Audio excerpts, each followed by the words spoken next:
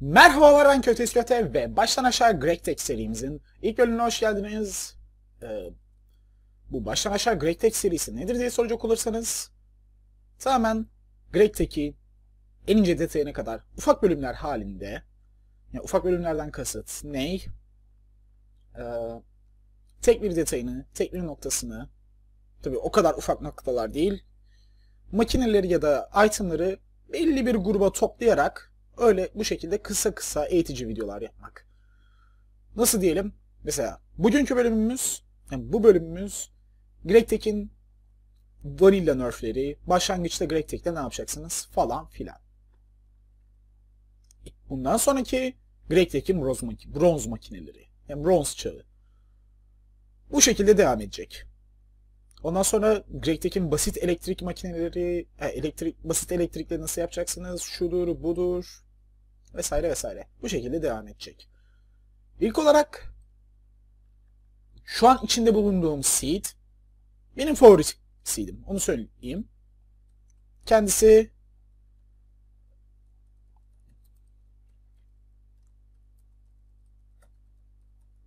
Hepiniz cehennemde yanacaksınız. Seed bu. Dalga geçmiyorum. G yine kullanmıştık. Epik bir şey ortaya çıktı. Sayı olarak halde şu. Neden epik diye soracak olursanız birazdan değineceğim fakat şu arkadaki manzarayla alakalı ufak bir detay söz konusu. Bir de önünüzle alakalı. Neyse gel gelelim ilk parçalarına. Eğer stone ya da wood tool'lar kullanmaya çalışırsanız durabilitelerinin biraz bu arada buradaki biraz yanında parantez içinde ünlem olan biri biraz az olduğunu fark edeceksiniz. Yani size hadi gidin demir aletler yapın diyor oyun. Ancak demir aletleri yapmaya kalkıştığımız takdirde şöyle bir şeyle karşılaşıyoruz. Bizden normalde 3 iron ingot ve 2 stick isteyeceğine 1 iron plate, 2 iron ingot, 1 çekiç ve bir de file istiyor. Bunun yanı sıra şöyle bir şeyle de yapabiliyoruz. Bu da ayrı bir uğraş. Evet. Peki bunu nasıl çözeceğiz? Güzel soru. Bunun için öncelikle yapmamız gereken ilk alet hammer. hammer iki, iki farklı başlangıç alternatifiniz var. Bunlar bronz ya da iron. Eğer çok fazla bronz elde edebilirseniz ki bu ne tabi değişik elde etme yolları var. En basit elde etme yolu 3 copper ve 1 tin 1 bronz elde ediyor. Bunun yanı sıra Alloy Smelter'da eğer copper'ı ya da tetrahidratı dust olarak koyarsanız 3 ha, tetrahidrat dust olarak koyarsanız 3 copper ya da copper dust olarak koyarsanız ve tin 4 elde ediyorsunuz fakat bu daha ileri seviye. Bunun yanı sıra şurada bakalım bulabilecek miyiz? Hı, bronze dust. Ah.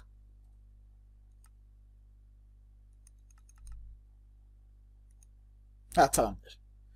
Eğer 3 tane copper dust ve 1 tane tin dust koyarsanız 3 bronz elde ediyorsunuz. Ki ufak bir aletle şu Iron Mortar ile yapımı kolay. İlk iki iron'ınızı buna harcayabilirsiniz. Copper ve tini elde ettikten sonra onları şu şekilde dust'la çevirin. Çok gayet hızlı bir yöntem. Ama ingotları çeviriyorsunuz ve onunla bronz yaparsanız eğer çok daha verimli olur. O yüzden yapmanız gereken ilk alet bu olabilir. Ve ardından bronz bronze hammer. Gayet mantıklı bir ikili. Bronz aletlerin e, demir aletlerle e, alakası dayanıklılıkları çok daha fazla. Şimdi ardından yapmanız gereken şey file. File'a bakacak olursanız bu şekilde yapılıyor. Gerekli alet ve ufak bir detay göstermem lazım. Stick yapımıyla alakalı ufak bir detay var. Bu şekilde bize iki tane stick veriyor. Bunun için bir adet testereye ihtiyacımız var. Dört tane vermesi için. Benzer bir şey Wood için de geçerli. Tabii vanilla bir wood'a denk gelebilirsek çok güzel ola- olacak. Extra utilities bizi... Tam jungle wood. Normal haliyle koyarsanız gördüğünüz gibi ya da görmediğiniz gibi evet iki tane veriyor bize. Fakat eğer bunu testereyle koyarsanız dört tane veriyor. Daha ilerleyen zamanlarda Industrial Sawmill ya ondan önce de Plate Cutting Machine ile böyle şeyler elde ediliyor. Fakat bunu boş verin. Kısacası testere de yapmanız gereken ilk aletlerden bir tanesi. Aksi halde devasa bir ağaç tarlası yapmanız gerekecek. Evet. Bunları yapabildiğimize göre artık şu aletleri yapıyoruz. Ve bunun yanı sıra de resipisi değişen iki şey. Kova ve Flint and Steel. Bunun için Steel Nugget lazım. Yani bunun anlamı erken bir çağda steel, steel elde etmeye başlayacağız. Bunu bir sonraki videoda değineceğim. Bunun sıra bize gerekecek diğer bir alet wrench. Bu, aa, bu arada sword'u göstermişim. Iron sword'u koymamışım buraya. Ufak bir detay. Bronze wrench, Iron sword da aynı güce sahip de sonrasında değişiyor olay.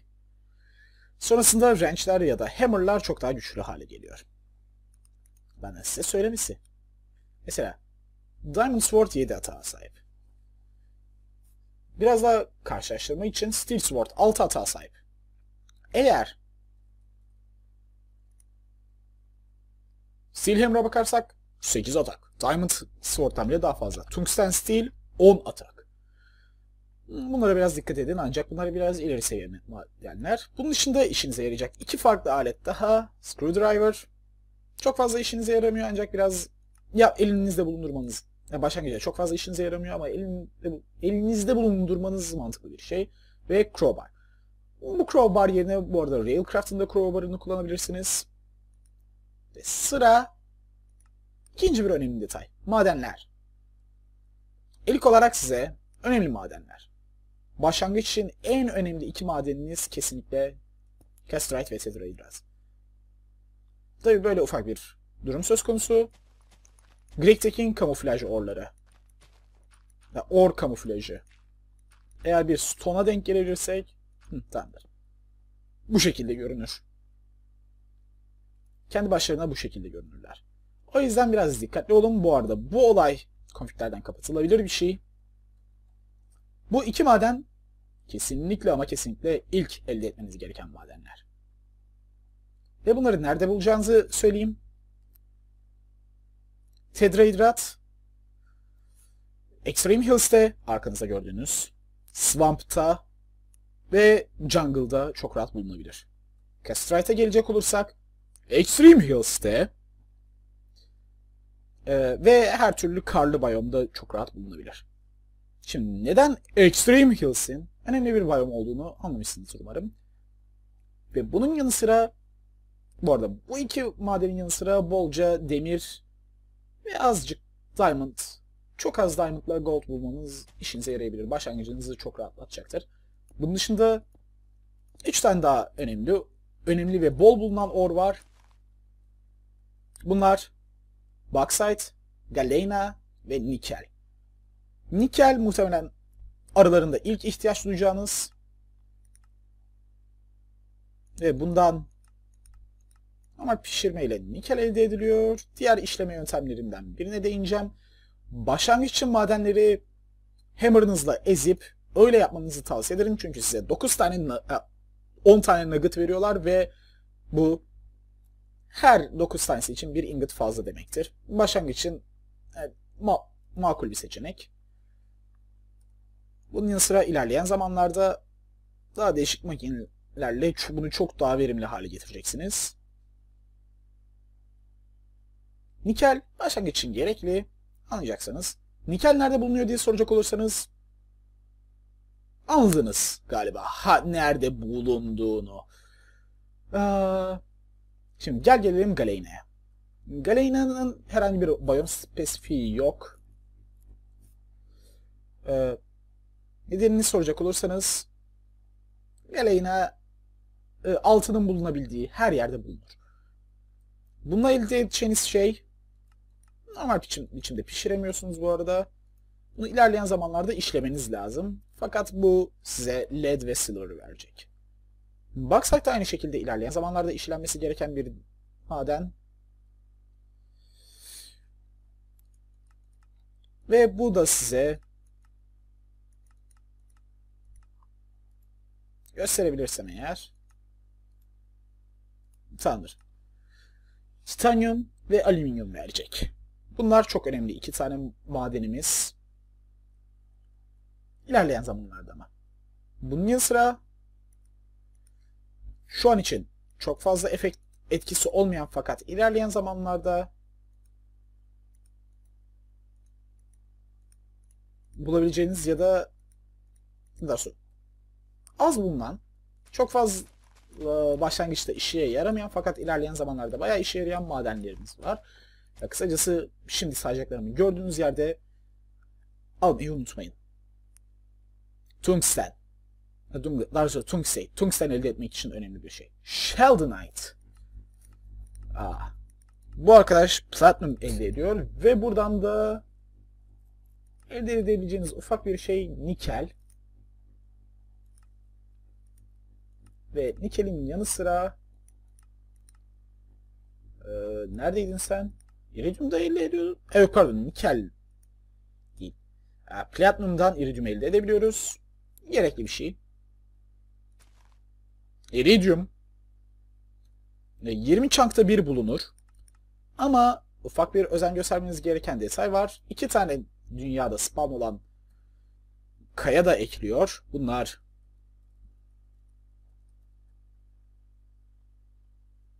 Black Granite ve Red Granite. Bazı orların bu iki kaya içerisinde bulunma olasılığı yüksek ve şimdi sayacağım şu üçlü Black Granite içinde çok rahat bulunabilirler. Ve maalesef ki şu şekilde gözüküyorlar. Bol şanslar. Bunun yanı sıra iki tane biome spesifik madenimiz var. Bunlar Ruby ve Safir. Ruby ilerleyen zamanlarda bayağı işimize yarayacak, inanılmaz işimize yarayacak bir şey. Safir'de bulunması güzel bir şey.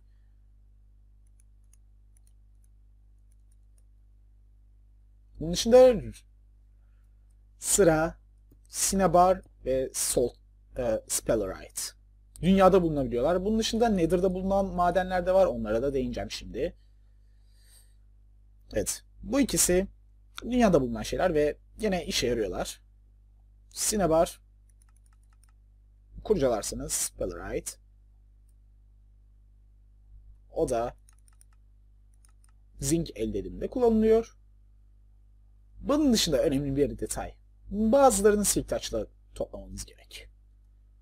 Şu safir, ruby, iridium, cinnabar ve spellerite kesinlikle ama kesinlikle silk taç ile toplamanız gereken şeyler. Sheldonite'tan emin değilim.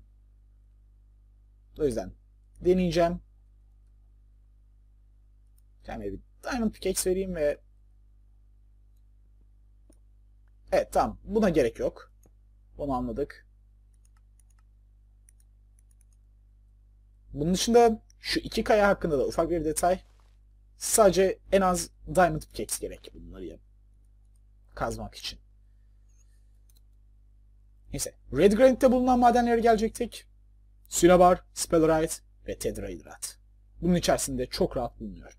Kısacası Diamond Pickaxe yaptığınız takdirde bunların için bunlara denk gelen bir mağaraya girmeniz bayağı avantajınıza yarıyor. Evet. Bunları da bitirdiğime göre tekrar Grektek'e dönelim ve bir iki tane daha madenimiz var. Bunlara değinelim. Bunlar Pyrite. Şu iki arkadaşa tekrar değineceğim. Bunun yaşında Olivine, Shellmate ve. Şu üç arkadaş Pyrite bu arada güzel bir demir kaynağıdır. Cinnabar ve Speller, e, Spellerite Nether'da da bulunabilen madenler. Bunun yanı sıra Olivine, Sodalite, Sheldonite ve Tungstate e, Ent'te bulunabilen madenler. Şu iki arkadaşı ve şu iki arkadaşı zaten tanıttım. Şu üç arkadaş değineceğiz. E, bu size demiri veriyor. Bunun dışında bazı byproduct'lar da veriyor. Bunlara değineceğiz. Daha sonra kendiniz en iyi kurcalayarak bakabilirsiniz. Bu arkadaş ise Silk Touch'la da alabilirsiniz. Normalde alabilirsiniz. Bu da aynı şekilde. Silk Touch'la alırsanız bu şekilde işlersiniz. Diğer türlü size Olivine verir ve Dust'larını verir. Ol- Olivine verir pardon. Silk Touch'la alıp işler Industrial Grinder'da işlerseniz ileride değineceğim bir makine Dust'larını falan da verir. Güzel bir mantıklı bir yol. Sodalite'a gelecek olursak bu da Sodalite. ile, bize benzer bir şey. Ve renk olarak kullanılabiliyor. Bunun yanı sıra bundan Sodalite Dust elde ediyoruz. Bu da renk olarak kullanılabiliyor ancak şöyle bir işlemde de kullanılabiliyor. Evet. Ve bu sayede GregTech'in orlarını, Virgin'ini vesaireyi tanıtmış olduk. İzlediğiniz için teşekkürler. Kötüsüz kötünün günler, iyi eğlenceler.